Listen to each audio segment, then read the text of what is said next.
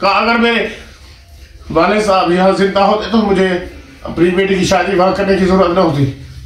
कि जब एक एक चीज़ मैंने यहाँ से उठाकर गाड़ियों में रखा पैक करके मैं अहमदपुर इतनी दूर लेके अपनी बेटी का जहेज। और भी आज दिन है संडे का बच्चे सारे घर है नाश्ता हमारा हो गया है और आपका नाश्ता कैसा रहा आज? बिल्कुल ठीक अलहमदिल्ला और भी हमने रात को बनाए थे। क्या मूंगरे मूंगरे।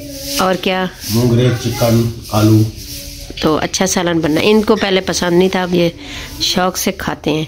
और भाभी से कहा कि आप जो ना घर भेजना चाहते हैं तो भाभी ने कहा, नहीं, आप बना लें, यहाँ पर मैं भी खाऊँगी और आप भी खाना। तो हमने बना लिया। हमने कहा, हम दो दिन पहले ही हमने मुंगरे खाए तो उन्होंने कहा, नहीं, आप यहाँ पे बनाएँ और मैं भी खाऊँगी। तो रात को माशाल्लाह भाभी ने भी खाया और हम सबने सालन इतना टेस्टी बना हुआ था। अभी भी हमने नाश्ता कर लिया है और मैंने आज रूम की सफ़ाई कर लिया। तो बाहर का झाड़ू जो मैंने फौजिया से कहा कि आज आप लगाओ, आज आप घर हो। और मैं जाऊँ अब खानपुर जाऊँ? मेरी बात वही है अब जाए अपनी मर्ज़ी से। आऊँगी भी अपनी मर्ज़ी से फिर हाँ? मैंने आपको सारी बातें क्लियर कर दी है आगे आपकी मर्ज़ी। जाए या ना जाए वो आपकी मर्ज़ी है। इंसान की अपनी इज़्ज़त से ऊपर जो है ना किसी की इज़्ज़त नहीं ठीक है? आपके वाले साहब ने जो हमारी इंसल्ट पूरी बरादरी में की है कि अब मैं जहाँ भी जाता हूँ, हर कज़न जो है वो यही बोलते हैं कि आप अपने, अपनी पहली खुशी थी, अपने घर क्यों नहीं की तो मेरे पास कोई अल्फाज नहीं होते कि मैं उनको जवाब दूँ। बस मैं बात को ऐसे घुमा फिरा के हर आदमी को यही मैसेज दे देता हूँ कि भाई मेरी बहन ने ये रिश्ता किया था सतारा ने तो उसकी जो है ना खुशी थी कि भी मेरी, मेरे बच्चे अभी छोटे हैं। तो मैं फातमा की शादी अपने घर करती हूँ तो मुझे भी खुशी होगी। तो ये जो है ना बात को मैं घुमा फिरा के ऐसे हर आदमी को बता रहा हूँ। बाकी पूरी यूट्यूब फैमिली के सामने सारी बात सामने है कि ये जो हाजी साहब हैं, इन्हों, इनकी वजह से मैं अपनी पहली खुशी जो थी, वो अपने घर नहीं कर सका। और जब मैं वहाँ पर गया, तब मुझे ऐसा यानी फील हुआ, ठीक है, माँ भी थी, बहन भी थे, साजिद भाई थे, अपने बच्चे थे, मामू थे कज़न थे, सब थे। लेकिन मुझे वहाँ कुछ ना अकेलापन महसूस हो रहा था। पता नहीं क्यों, क्योंकि यहाँ अपना घर में अगर खुशी होती, सारे यहाँ पर हमारे दोस्त, रिश्तेदार, अज़ीज़, सब आते। और सारी बातें जो ना एक तरफ़ और हमारे यहाँ गेस्ट आ गया था तो वो चला गया अभी।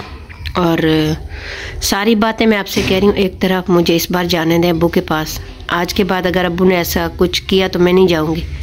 वैसे ज़िंदगी नहीं। आपसे पहले बात क्लियर की थी कि जब अबू आ रहे थे सऊदी अरब से अम्मा के सामने आपके सामने बात की थी कि भाई वो आ रहे हैं बुज़ुर्ग हैं हमारे घर में बैठे या अपने घर में बैठे। उन्हें हम इतना इज़्ज़त देंगे इन कि वो अपनी औलाद को भी भूल जाएँगे। डेली का जो भी वो खाना पसंद करें उनको वही बना के ताज़ा देंगे कपड़े ताज़े धुले हुए डेली के नए जो नहीं वो तो हमारे वालदेन है हमारा हक बनता है फ़र्ज़ बनता है।, बनता है। तो हमने मैंने आपने मेरे बच्चों ने कितनी उनकी इज़्ज़त की रिस्पेक्ट की और ये हमारा हक भी बनता है। ये हमने कोई उनके ऊपर कोई एहसान नहीं किया ठीक है? लेकिन मुझे दुख इस बात का हुआ है कि रिश्ता उन्होंने खुद किया है। ठीक है? रिश्ता भी उनकी मर्ज़ी से हुआ। अच्छा और उसके बाद जब हमने दुआ खैर मांगी वो भी उसमें शामिल थे। ठीक है? अच्छा उसके बाद उन्हें अचानक से क्या हुआ कि हमारा ख्वाब जो है मेरा सारा टूट फूट कर दिया उन्होंने। अच्छा कोई नहीं। खुशी होती तो वो पता नहीं कैसी होती जो मैंने सोचा था। अच्छा जो होता है ना उसका नसीब था हम्म। मेरी बेटी का हो गया मैं उससे भी मुतमिन हूँ। हमसे जितना हुआ हमने अपनी खुशी बेटी की की। लेकिन मुझे ये समझ नहीं आ रही कि ये बड़े होकर हमें तो समझाएँ कि भाई ये काम ऐसा नहीं है ऐसा है। तो ये उलट हमें जो है उन्होंने मैसेज दिया कि बस मेरे पास अल्फाज नहीं है कि मैं अब क्या कहूँ। ठीक है, उन्होंने जो भी किया, वो अच्छा नहीं किया मेरे साथ, बस मैं यही कहूँगा। बाकी अगर आप अपनी मर्ज़ी से उनके पास, मैं तो नहीं जाऊँगा, ठीक है? हाँ अम्मा का घर है, अम्मा आती हैं तो अम्मा को मिलने जाएँगे ज़रूर। वो क्योंकि वो मेरी माँ है, मेरे लिए तो वो सबसे ऊपर है। सबसे मेरे लिए बेस्ट यानी कि मेरे दो जहाँ की मालिक है। तो उनसे मिलने के लिए तो मुझे कोई नहीं रोक सकता। बाकी रहा हाजी साहब का सवाल तो हाजी साहब, ठीक है, बहर जैसे मिलते हैं दुनिया के सामने, अदब से तहजीब से उन्हें अभी मिलते हैं, जब भी बहर मिलते हैं। लेकिन दिल में मेरे उनके लिए कोई मोहब्बत अब नहीं रही, ठीक है? क्योंकि अगर आप किसी के, बस मेरे पास अभी अल्फाज नहीं है और कि मैं और अल्फाज को, अगर आपका दिल करता है, आपके वालिद हैं तो आप जाए मैं आपको नहीं रोक सकता ठीक है? अब बिला खुशी जाए पर इस बात का मुझे दुख रहेगा कि मेरे इस दुख सुख में आप मुझे छोड़ के जा रही है। मेरी एक बात आप जहन में रख लें। जाए आप।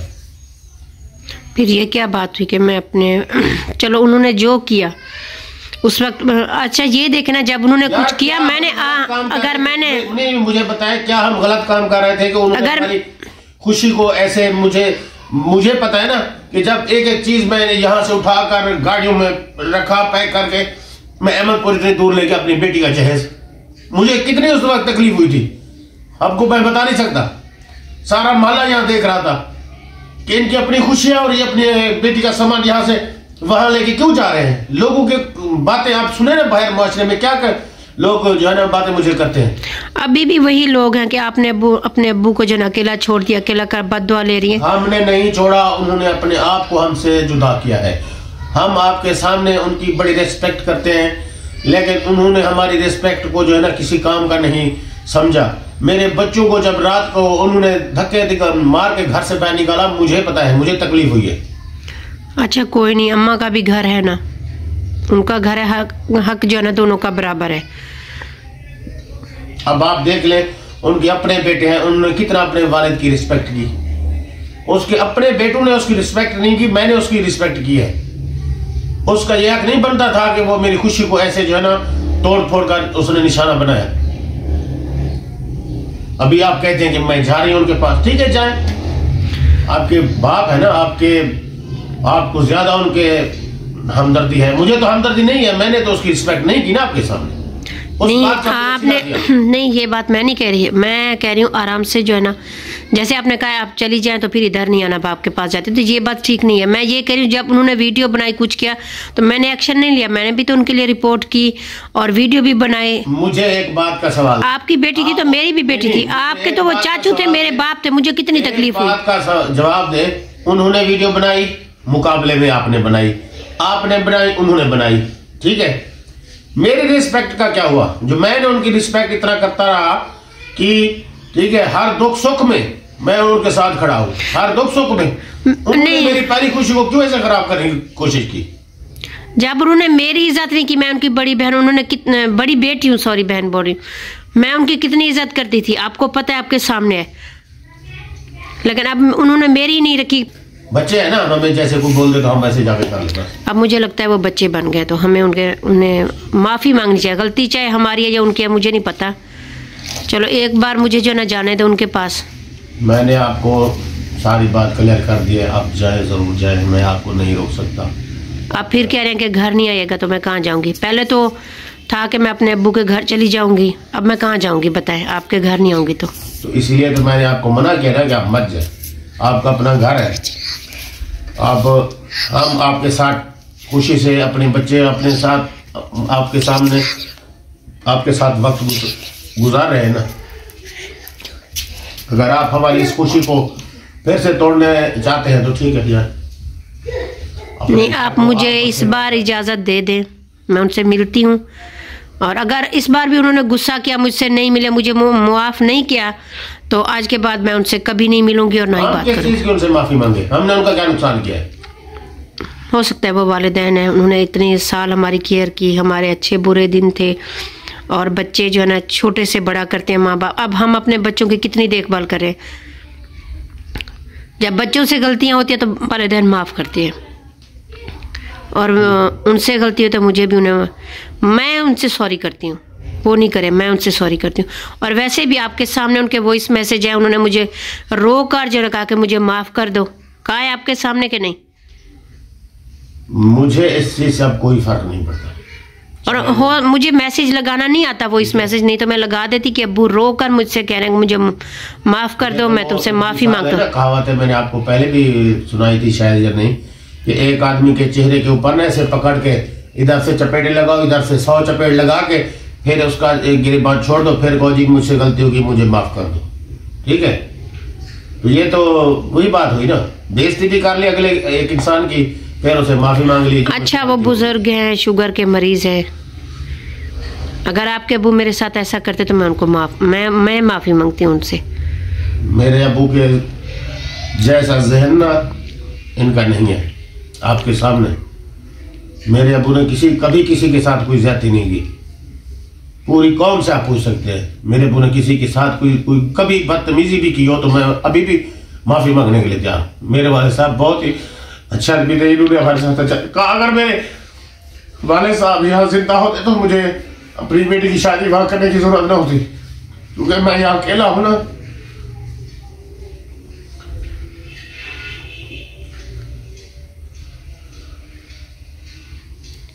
तो मैं नहीं हूँ, बच्चे नहीं आपके साथ?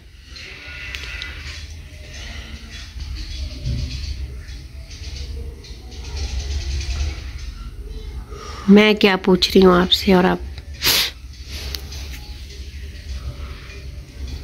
चलें इस बार जाने दें मुझे कोई नहीं। अगर उन्हें कुछ हो जाता या हो हो गया तो मैं अपने आप को कभी माफ़ नहीं कर सकूँगी। गैर को क्या शिकायत करें हमें तो अपनों ने ही लूटा। एक भाई था वो भी नहीं आया शादी में। अच्छा वो तो बात की बात है हर किसी के बच्चे हैं। आपने तो कहा था ना वो नहीं आया तो कोई नहीं। कोई बात वैसे बोलते हैं ना ज़िंदगी में अकेले आए और अकेले ही जाना है। कोई किसी के साथ नहीं जाता। ये दुनिया बस ऐसी है। आप भाई को छोड़ें बाकियों को छोड़ें मुझे मेरे बात मैं हर आदमी की बात बर्दाश्त कर जाता हूँ। मेरी कोई नहीं करता। मैंने किसी के साथ कोई जाती नहीं की। मेरे साथ अभी खरा है, कोई बात नहीं। सब्र कर रहे हैं, सब्र का फल अम्मा कहती है कि मीठा होता है।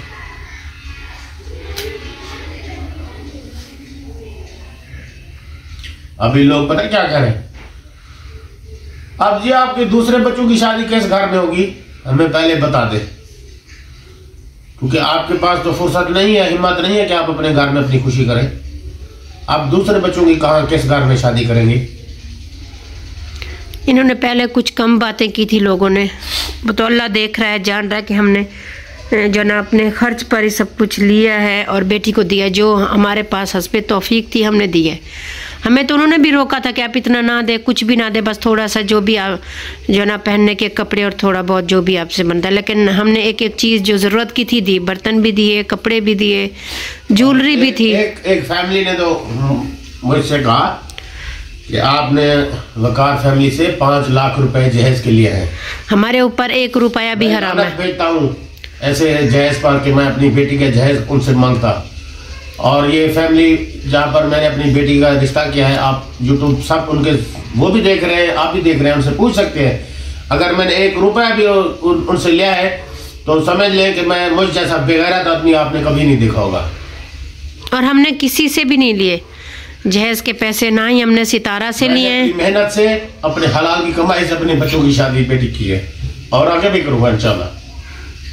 तो ये इस तरह की लोग बातें करना काफ़ी लोगों ने मुझे भी कहा कि आपने सितारा को लूट लिया, उनसे पैसे लिए एक एक चीज़ सितारा के खर्चे पर लिए तो वो सब हमने उधार, कुछ हमने उधार ली थी जो अभी हमने कमाद उठाया तो वो लोगों को दे भी रहे हैं और आगे भी कुछ बच गया तो वो भी इंशाल्लाह उतार देंगे।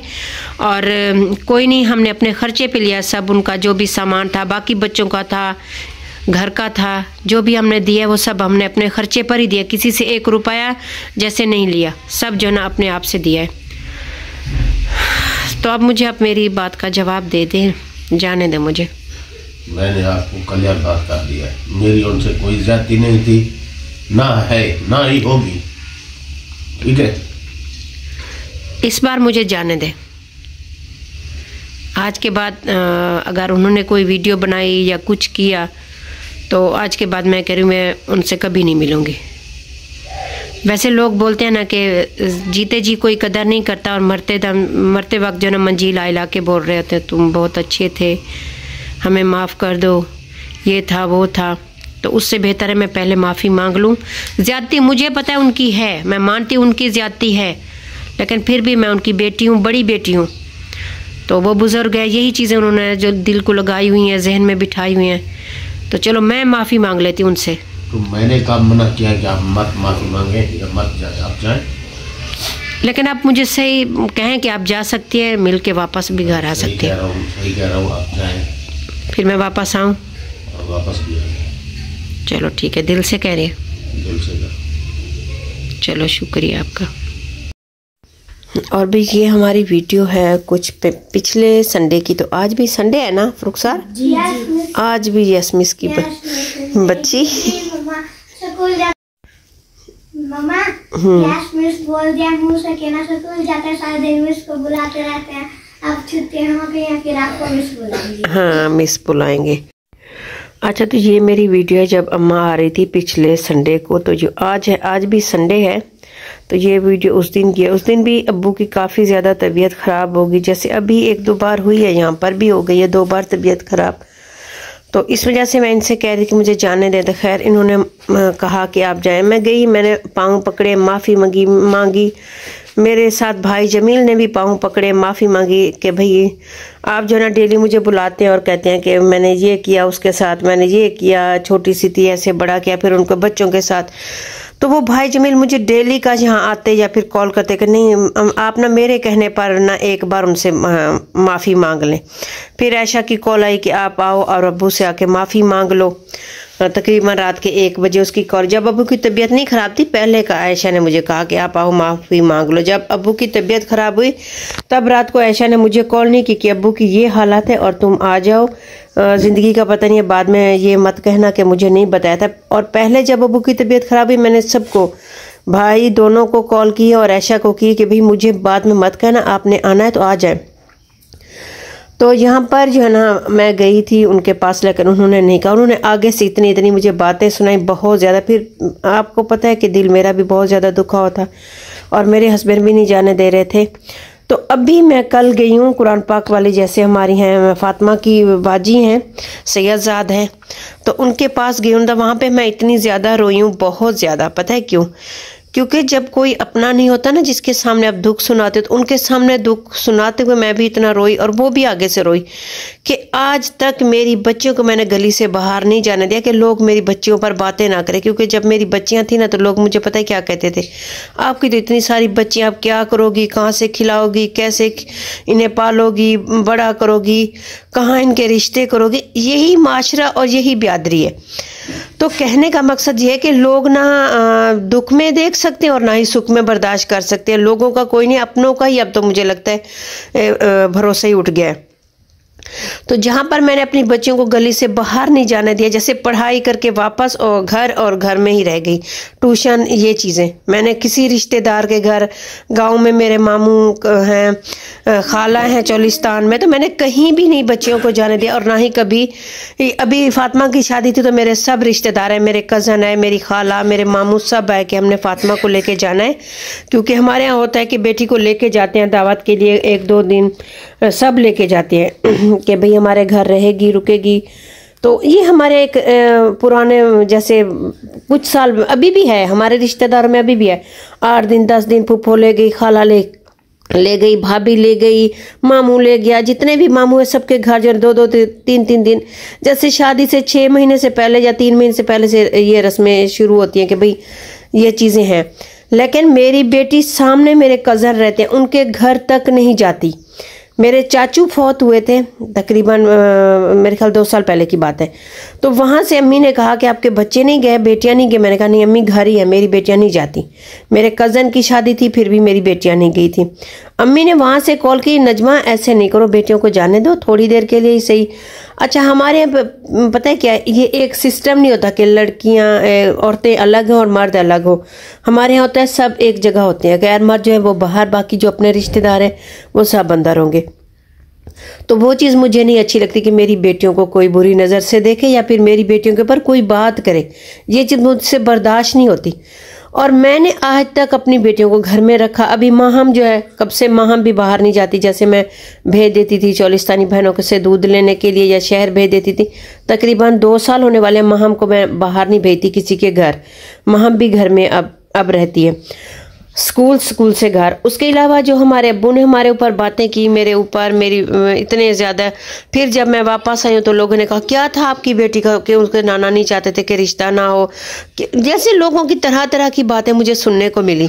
मुझे, मेरे हस्बैंड को तो जितना इंसान चाहता है ना कि मेरे ऊपर बात ना हो, जितना भी साफ़ किरदार साफ़ पोश ना हो, उसके ऊपर छींटे आते ही हैं। कोई और गिराए ना गिराए, लेकिन अपने ज़रूर उसकी सफ़ेद पोश, लिबास नहीं देख सकते, छींटे ज़रूर गिराते हैं। तो आज तक मेरे ऊपर किसी ने बात नहीं की, ना ही बिहादरी से, ना ही रिश्तेदारों से, ना ही हक हमसायों से, मेरी बेटियों के ऊपर। आज तक, अल्हम्दुलिल्लाह, कोई गलत बात ना ही उठी है और ना ही हुई है। तो अबू ने इतनी सारी बातें कर दी, वो चीज़ें थी। तो कल जब मैं गई कुरान पाक वाली बाजी तो मैं वहाँ पर बहुत ज़्यादा रोई। मैंने कहा, पता नहीं, मेरी बेटी का कसूर क्या था? शायद मैंने उनको घर में बंद रखा, आज़ाद माहौल नहीं दिया। देती, जैसे औरों की लड़कियाँ अपनी मर्ज़ी से जा रही हैं शॉपिंग कर रही हैं माँ बाप कुछ लेके आते पसंद नहीं आता। तो दस बार वो खुद ही कहती है, एक बार लेके आती है, कहती है, अब मुझे पसंद नहीं है। दोबारा खुद से ही इतनी पसंद करती है आज चीज़ें। लेकिन मैं अपने अपने बच्चों को जो जो चीज़ दी अलहमदिल्ला मेरी बच्चे उसी में ही खुश हैं। तो ये होता है हमारे, मैं कहूँ कि मैं ज़्यादा अमीर थी नहीं। मैं गरीबी शुरू से अपने बच्चों को जो है ना एक ऐसे भी उतार चढ़ाव ज़िंदगी का हिस्सा है। गरीबी अमीरी जो है ना देख कर नहीं आती तो बच्चों को हर चीज़ सिखानी चाहिए, जो अलहमदिल्ला मैंने अपनी बच्चियों में रखी है। मेरी बच्चियाँ हर हाल में नमक, मिर्ची जैसे हमारे होता है ना, उसके साथ भी रोटी खा लेंगी। ये नहीं कहेंगी कि हम ये क्यों खाएँ, चटनी के साथ भी गुजारा करेंगी, लेकिन अपने घर में रहेंगी, कभी किसी के ऊपर कोई बात नहीं करेंगी। तो ये चीज़ें बहुत तकलीफ़ दा होती हैं। उसके अबू की इन चीज़ों के बावजूद भी मैंने उनसे माफ़ी मांगी उन्होंने नहीं कहा। उन्होंने बस इतना मुझसे कहा कि अगर मैं आपसे सुलह कर तो मेरा घर ख़राब होता है।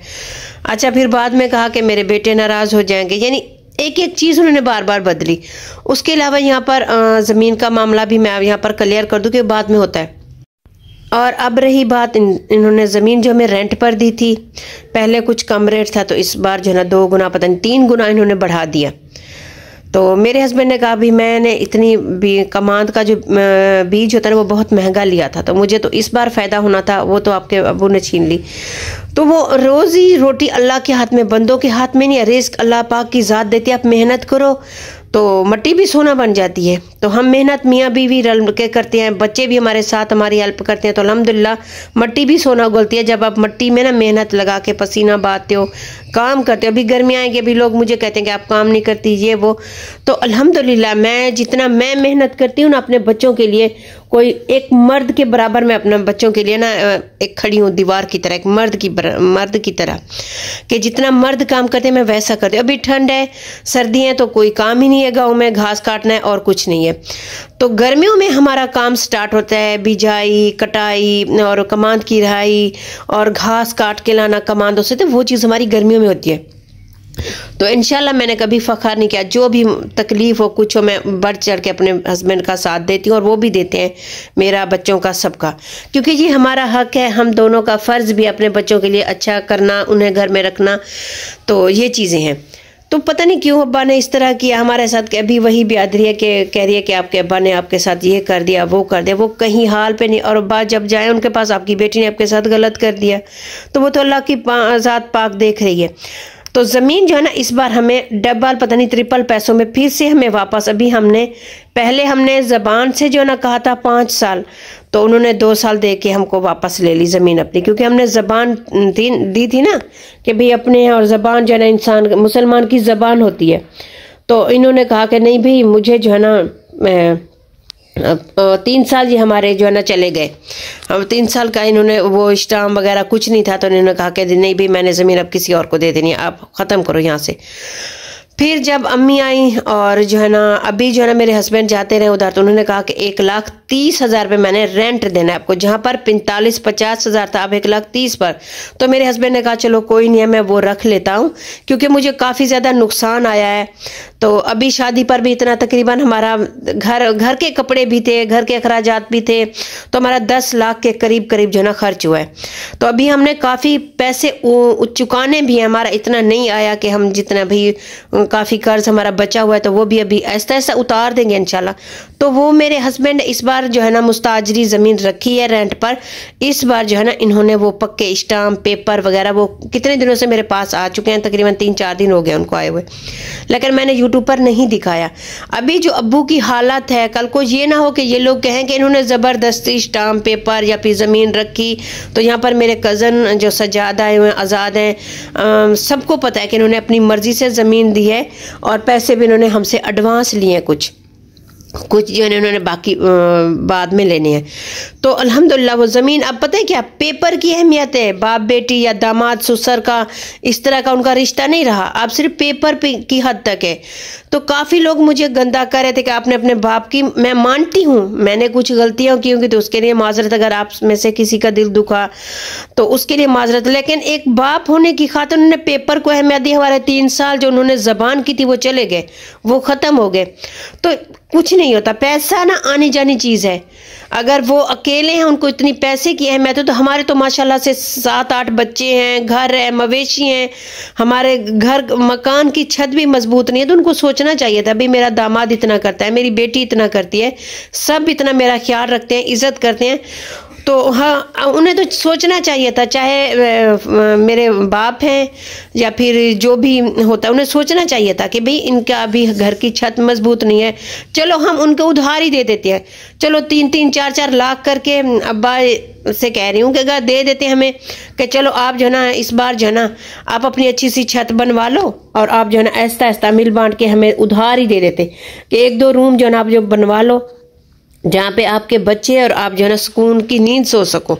लेकिन नहीं, ये चीज़ें नहीं, उल्टा इन्होंने देखा कि भी अब थोड़ा इनको पैसा आएगा तो हर किसी का जो है ना आँखें खुल गई कि बस इनको अब जलन शुरू हो गई सबको कि भाई इनको जो है ना आगे नहीं बढ़ने देना।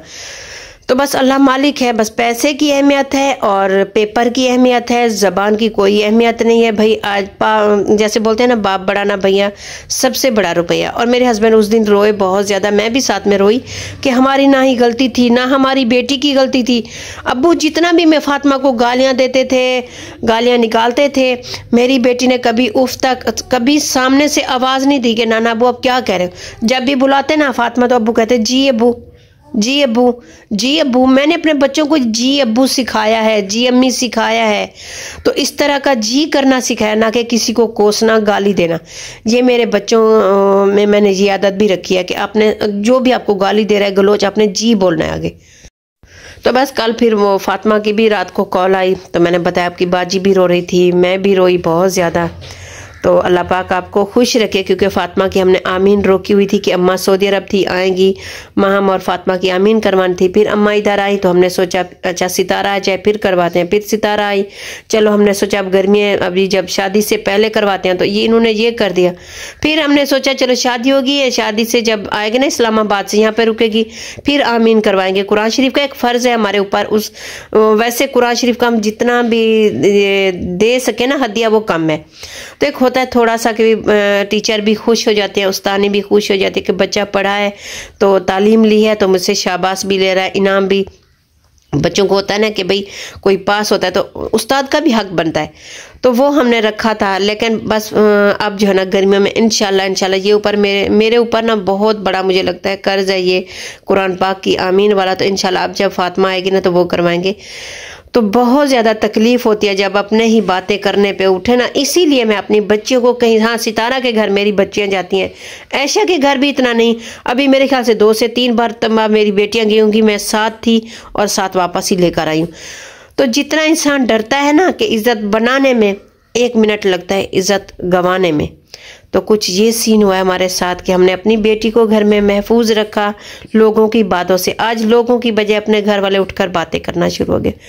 तो इन आपसे, और हाँ मैं हस्बैंड के साथ अगर ज़िद ना करूँ, ये चीज़ें ना करूँ, पता है क्या, फिर कल को मुझे ही कहते हैं कि आप गलत थी, वो ठीक थे। या आप ठीक थी, वो गलत थे। तो हम दोनों को साथ साथ चलना है। ज़िंदगी का कोई भी मोड़ आता है, उतार चढ़ाव हिस्सा है, लेकिन मियाँ बीवी को हमेशा साथ रहना चाहिए, जो हम दोनों करते हैं। कभी ये मेरी नहीं मानते, और पता है क्या, हमारे घर में लड़ाई भी होती है, झगड़ा भी होता है, हम आठ आठ, दस दस दिन नहीं बोलते, दो, तीन दिन नहीं बोलते। उसका मकसद ये नहीं कि हम एक दूसरे के साथ रहना नहीं चाहते, बात नहीं करना चाहते या फिर हम झगड़ा करना चाहते या यूट्यूब पे लाना चाहते नहीं नहीं। हर घर में मसले मसाइल हैं। अब मैं आपको बताने बैठूँ ना तो आप कहेंगे, हाय अल्लाह, आप यहाँ पे कैसे गुजारी अगर मैं आपकी सुनने बैठूँ ना, मैं फिर आपसे कहूँगी कि है अल्लाह, आप कैसे रहे, जी रहे हैं, रह रहे हैं? तो ये हर किसी के घर में है, यानी कि किसी के घर में नहीं, हर किसी के घर में है हमारे यहाँ बोलते हैं कि अगर किसी की सुनने, सुना, किसी को सुनाने जाओ ना, अगले की सुन के ही बंदा परेशान हो जाए, भाई, ये मुझसे ज़्यादा दुखी है। तो बंदा जो है ना, किसी को खुश नहीं देख सकता। तो इनशाला काफ़ी सारी बातें होगी। तो मैंने कहा, ये उन्होंने वीडियो उस दिन बनाई थी तो मुझे टाइम ही नहीं मिल रहा मिल रहा था। बाकी ये बात भी क्लियर करनी थी कि दोबारा हमें वही ज़मीन जो है ना, दोबारा ट्रिपल पैसों के ऊपर जो है ना, अभी पेपर की अहमियत थी, ज़बान की नहीं थी, वो हमें मिल गई है वापस। वो हमने, फारूक ने कहा, बस छोड़ दो, आप नहीं दिखाओ यूट्यूब पर, लोग क्या कहेंगे? मैंने कहा, कुछ नहीं। तो इन अभी सोचा था कि जगह भी बनवाएँगे, थोड़ा एक रूम जो है ना, सेट करवाना, जिसमें ज़्यादा पानी आता तो अभी वो पैसे जो है ना, नहीं बच रहे, वो हमने दोबारा आगे रेंट पर दे दिए। तो इन अल्लाह फाक है, मेहनत कर रहे हैं कि कभी तो हमारे भी जैसे ना, किस्मत बदलेगी, कभी तो हमें भी ये घर बनाने का मौका मिलेगा। फ़िलहाल तो जस्तजू में है कि भाई आगे बढ़ें और कुछ हो हाथ में तो ही जगह का हाथ। ये ना हो कि ये भी छत खराब कर लें, छप्पर भी उड़ जाए और पैसा ही ना बचाए, फिर खाली छत पे तो बैठ ही नहीं सकते बच्चे और हम। तो इनशाला मिलेंगे आपसे कल एक नए व्लॉग और नई रूटीन के साथ। अगर मेरी वीडियो अच्छी लगती है तो मैं लाइक करें, शेयर करें और सब्सक्राइब करें और इनशाला जो बातें, अगर कोई मैंने गलत बात कर दी हो तो उसके लिए माजरत। अगर मैंने कुछ किसी का दिल दुखाया तो उसके लिए भी माजरत। तो अल्लाह हाफिज़ भाई अपनों से ज़्यादा तो मुझे लगता है आप, आपने ही हमें अहमियत दी है तो आप सबका बहुत ज़्यादा शुक्रिया। अपनों से ज़्यादा आप सबने हमें सपोर्ट किया तो इसके लिए आपका दिल से शुक्रिया। जब काफ़ी लोगों ने मेरी पेमेंट के बारे में कहा है तो इनशाला मैं क्यों न करूँगी? तो आप सब मुझे कमेंट में बताइएगा कि मैं इन चीज़ों से जो है ना एक वीडियो बनाऊँगी इनशाला इनशाला अल्लाह हाफिज़। और भी आप सबसे एक ये भी बात करनी है कि सितारा ने हमारे साथ जितना अच्छा किया, जितना वो हम मरते दम तक, उसका ये एहसान नहीं भूल भूल सकते, क्योंकि जैसी उन्होंने वीडियो बनाई थी, अगर उसी वक्त वो लोग निकाह नहीं करते तो हम किस मुँह से वापस घर आते? वो जहेज लेकर और बच्चे लेकर और बारात लेकर जो हम लोग गए थे, या फिर फातिमा को लेकर किस मुँह से हम लोग घर आते? ये सब सितारा की वजह से हुआ है, और हमारी मरते दम तक मेरी और मेरी बेटी की, हमारी पूरी फैमिली की स्पोर्ट्स सितारा के साथ है।